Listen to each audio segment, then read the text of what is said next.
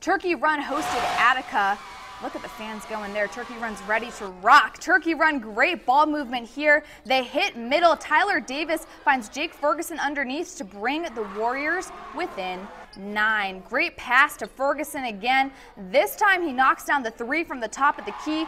Warriors down by five, but Attica would strike a back. A little back and forth passing leads to a three by Brad Green, and Attica would go on to beat Turkey Run 44 to 40.